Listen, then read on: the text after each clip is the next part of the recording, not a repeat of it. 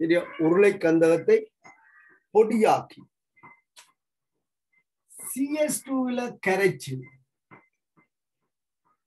CS டூல கரைச்சு ஆவியாக்கல் கிண்ணத்துல எடுத்து ஒரு வடிதாளால மூடி விட்டோம்னு சொன்னா ஃபில்டர் பேப்பரால மூடி விட்டோம்னு சொன்னா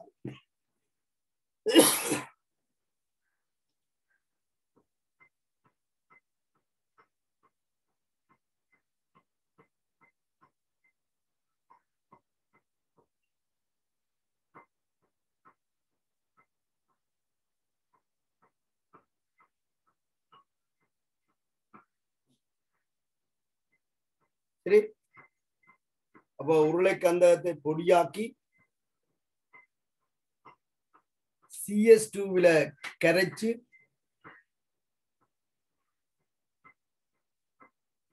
ஆவியாக்கல் கிண்ணத்துல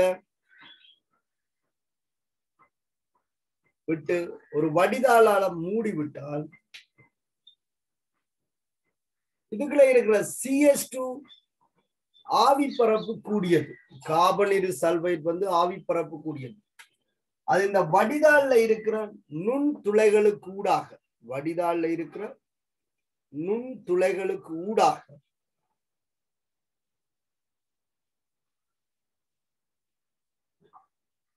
சரிதான்? இருக்கிற நுண் துளைகளுக்கு ஊடாக ஆவியாகி செல்லும்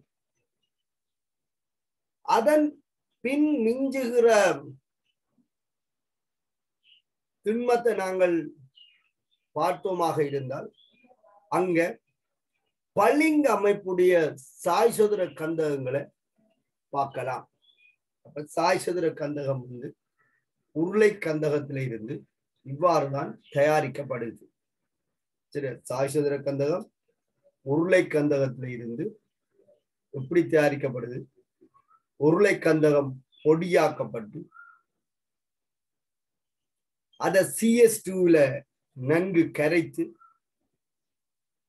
ஆவியாக்கல் கிண்ணத்தில் எடுத்து வடிதாளால மூடி விடும்போது வடிதாளில் உள்ள நுண்துளையின் ஊடாக சிஎஸ் டூ ஆவியாக மிஞ்சுகின்ற திண்மம் சாய் சதுர கந்தகமாக காணப்படும். உருளை கந்தகம் இப்ப சாய் சதுர கந்தகம் மாறி அப்ப இந்த சாய் சதுர கந்தகம் தான் நான் குறிப்பிட்டது போல பளிங்கு அமைப்புடையது. எட்டு கந்தக அணுக்கள் சேர்ந்து எஸ்ஐ மூலக்கூற்று ஒழுங்கமைப்பில காணப்படும்.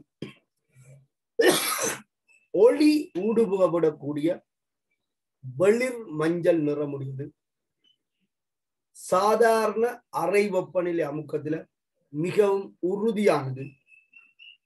உள்ளீட்டு சக்தியை பூச்சியம் என்று சொல்லி நியம நிலையில் எடுத்துக்கொள்ளுவோம் சாய் சதுர கந்தகத்துல உள்ளீட்டு சக்தி நியம நிலையில பூஜ்ஜியம் சொல்லி எடுத்துக்கொள்ளப்படுது. சரி இவருடைய உருகு நிலை நூற்றி பதிமூன்று பாகை ஸ்தி. சரிதானே? அப்ப சாய் சதுர கந்தகம்னு சொல்லி தலையங்கம் போடணும். அல்பா கந்தகம் சொல்லலாம். இதை சும்மா குறிச்சு வச்சு கொள்ளுங்க ஆவியாக்கள் கிண்ணம்.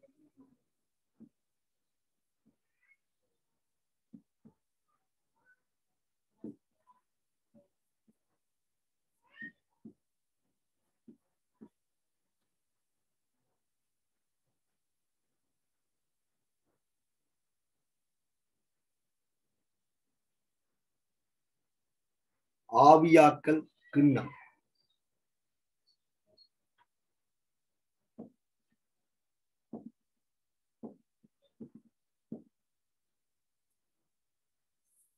சிஎஸ் டூவில் கரைக்கப்பட்ட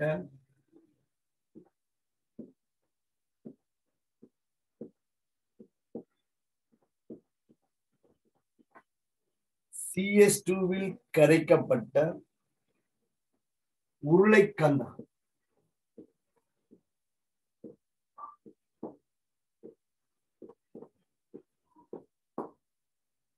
இது வடிதா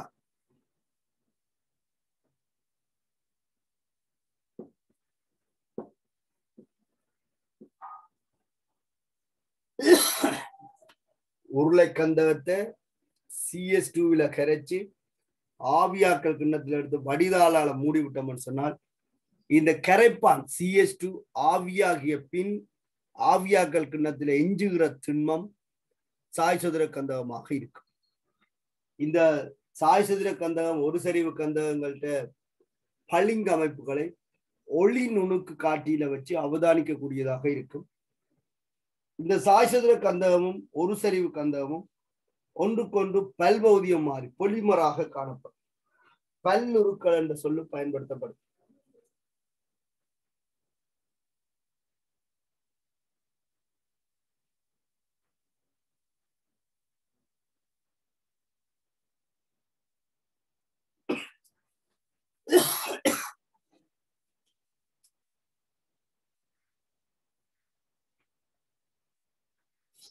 சரியா எழுதிக் கொள்ளுங்க சோதனை குழாயில்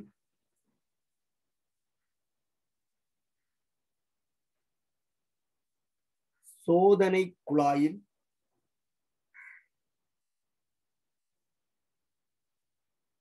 சோதனை குழாயில் உருளை கந்தகத்தை பொடியாக்கி எடுத்து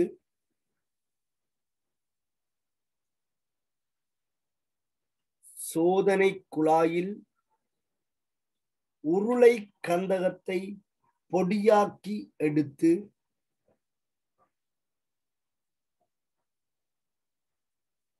சோதனை குழாயில் உருளை கந்தகத்தை பொடியாக்கி எடுத்து சிஎஸ் டூவில் கரைத்து சிஎஸ் டூ கார்பனிரு சல்பைட் சிஎஸ் டூவில் கரைத்து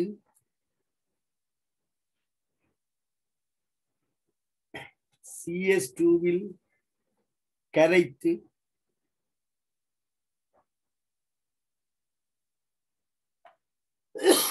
பின்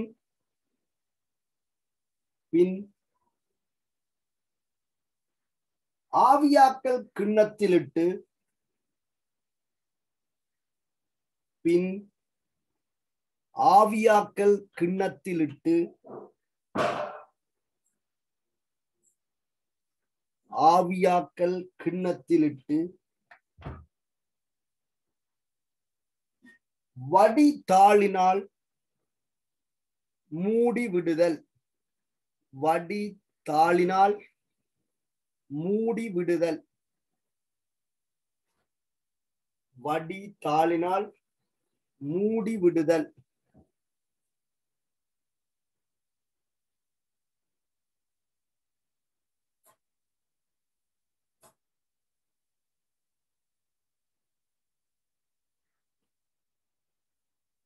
சிறிது நேரத்தின் பின்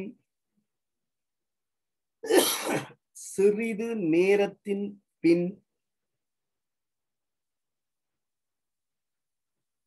சிறிது நேரத்தின் பின் அதாவது அதாவது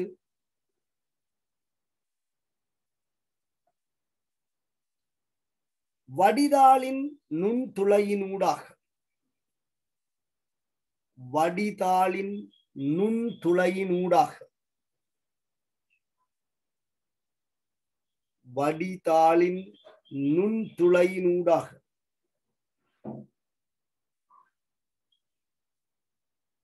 வடிதாளின் நுண்துளையினூடாக.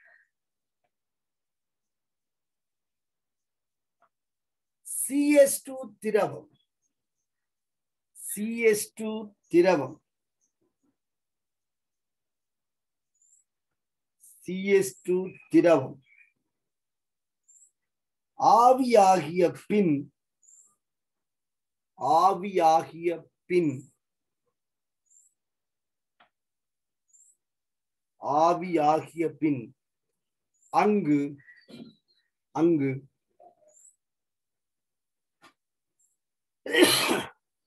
சாய் சதுர கந்தக பளிங்குகள் தோன்றும். சாய் சதுர கந்தக பளிங்குகள் தோன்றும். அங்கு சாய் சதுர கந்தக பளிங்குகள் தோன்றும். அங்கு சாய் சதுர கந்தக பளிங்குகள் தோன்றும்.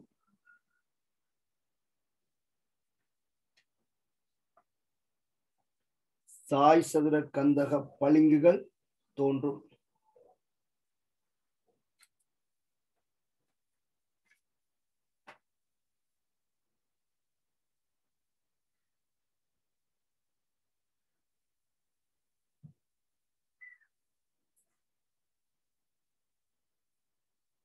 கவனிச்சு கொள்ளுங்க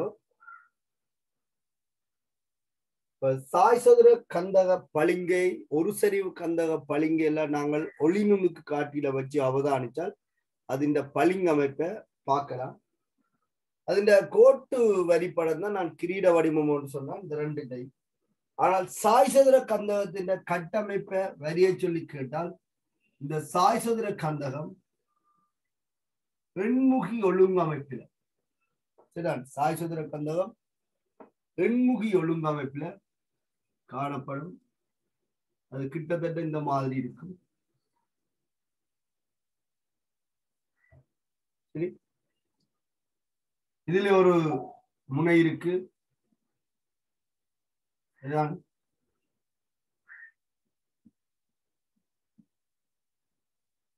இந்த சாய் சதுரத்தை அடிப்படையாக கொண்டு மேலே ஒரு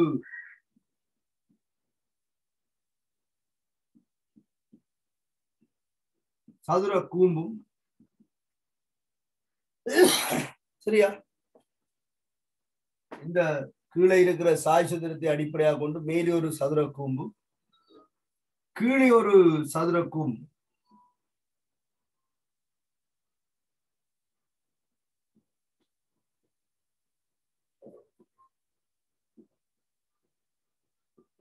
இருக்கிறத நாங்கள் பார்க்கலாம்.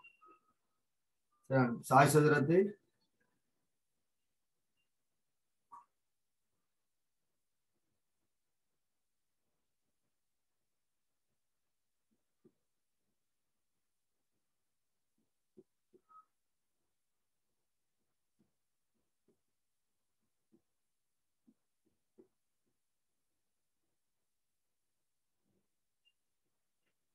இது எண்முகி கட்டமைப்புடையதாக இருக்கும். எண்முகி கட்டமைப்புடையதாக இருக்கும். இது முப்பரிமாணத்துல கொஞ்சம் தாத்தான் இருக்கும். இப்ப பாத்தீங்கன்னு சொன்னால் இது வந்து வெளியில தெரிகிற பிணைப்பு இந்த சாசதத்துல இது வெளியில தெரிகிற பிணைப்பு இதுக்கும் வெளியில தெரிகிற பிணைப்பு இதுக்கும் தெரியும். த்ரீ டைமென்ஷன் இதுவும் தெரியும். இது உள்பக்கத்துக்குள்ள போகும் அதே போலதான் இந்த பிணைப்பு உள்ளுக்குள்ளால போகும். இது இது வழியில தெரியும் சரி. சாய் சதுரம் அமைப்புடையது. இந்த படம் கொஞ்சம் ஒரு மாதிரி தான் இருக்கு. சரிதான்? கொஞ்சம் இதை இதாண்டு கிட்டத்தட்ட ரெண்டும் சமச்சீர் கட்டமைப்பாக வரும். சரியா? இந்த கீறும் போது கொஞ்சம் அப்படி இப்படியா போயிட்டு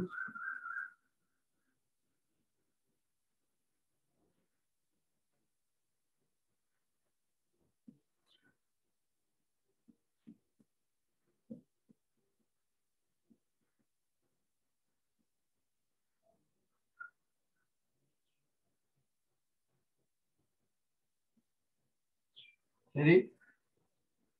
அதாவது மேலே ஒரு சதுர கூம்பும் கீழே ஒரு சதுர கூம்பும் இருக்கு. அதான் இந்த சாய் சதுர கந்தகத்தின் கட்டமைப்பு. அப்ப சாய் சதுர கந்தகத்தின் அமைப்பை வரைந்து காட்டுதுன்னு கேட்டால் நீங்க இந்த மாதிரி தான் வரைஞ்சு காட்ட போதும் இதுல எண்முகி தோட்ட அமைப்பு இருக்கும் கீழே நாலு முகம் மேல நாலு முகம்.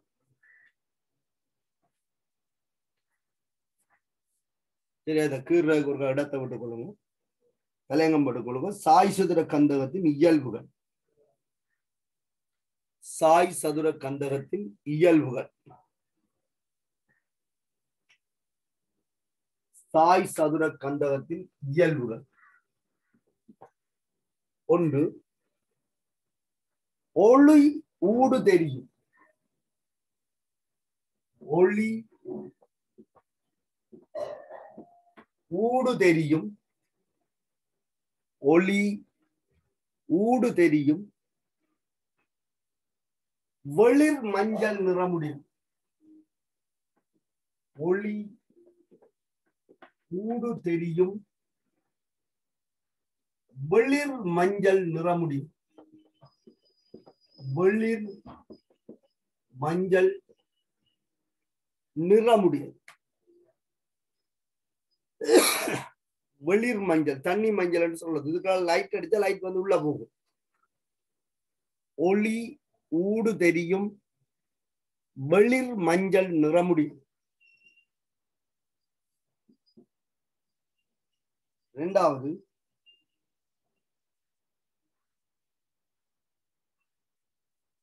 நியம நிலை.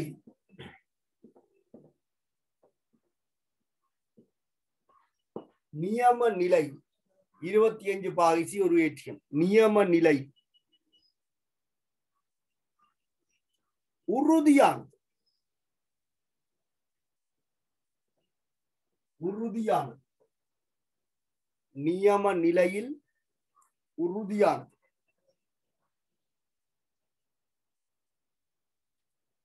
தொடர்ந்தலை கொள்ளுங்க இந்நிலையில் இந்நிலையில் இதன் உள்ளீட்டு சக்தி.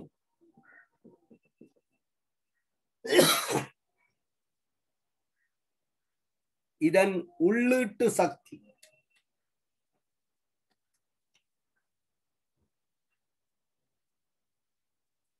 உள்ளீட்டு சக்தி.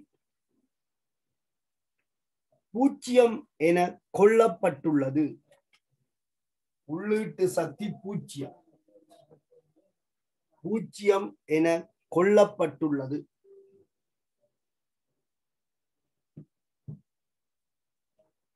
பூஜ்ஜியம் என கொல்லப்பட்டுள்ளது. மூன்றாவது. அதிகளவில் காணப்படுகின்ற பிரதிருப்ப வகையாகும். உறுதியானதாக இருக்கிறதால இதுதான் அதிக அளவில் இருக்கும் அதிக அளவில் காணப்படுகின்ற அதிக அளவில் காணப்படுகின்ற பிரதிருப்ப வகையாகும். அதிக அளவில் காணப்படுகின்ற பிரதிருப்ப வகையாகும்.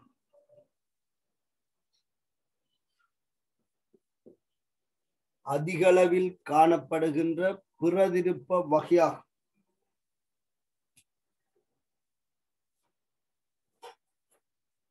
உருகுநிலை നൂറ്റി പതിമൂന്ന് പാകൈസി സാശതുര കന്ധകത്തിന്റെ ഉരുകിലെ നൂറ്റി പതിമൂന്ന് പാകൈസി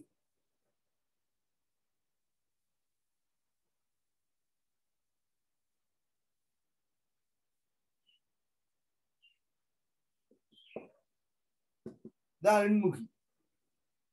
எண்முகி வடிவமுடைய எண்முகி வடிவமுடைய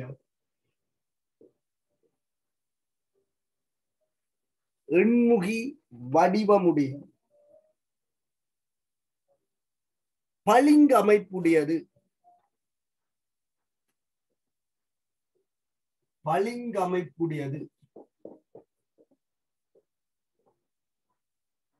எண்முகி வடிவமுடைய பளிங்கு அமைப்புடையது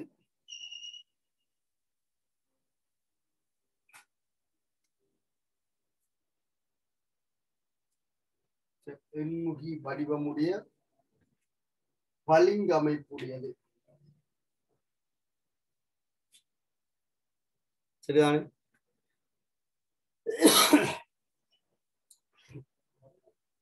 സായിസുതര കന്തകത്തിന്റെ ഇയൽവുകളും അതിന്റെ കട്ടമൈപ്പും தெரிஞ்சிருக்க வேணும் உங்களுக்கு பளிங்கு கட்டமைப்பின் வடிவத்தை கேட்டால் நீங்கள் அந்த கிரீட வடிவத்தை கீறலாம் ஆனால் அதுல சாய்சோதர கந்தகம் என்று கேட்க அதுக்கு இந்த மாதிரியான கட்டமைப்பு தான் மிகவும் பொருத்தப்பாருடையது ஒரு சரிவு கந்தகத்தின் கட்டமைப்பு கொஞ்சம் வித்தியாசமாக இருக்கும் இதுல இருந்து ஆகவே பளிங்கமைப்புடைய கட்டமைப்பு என்று கேட்டால் நாங்கள் பொதுவாக கிரீட வடிவத்தை கீறிக்கொள்ளலாம் சாஸ்வதர கந்தம் ஒரு சரிவு கந்தம் ஒன்றுனா அததுக்குரிய வடிவத்தை குறிக்கொள்ள வேணும்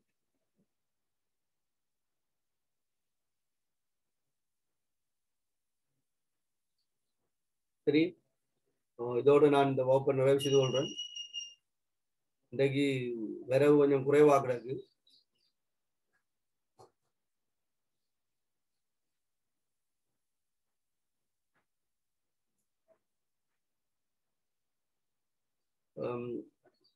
வேலைக்கு வாங்கோ ஆறு மணி என்று ஆறு மணிக்கு வாங்கோ சரிதான்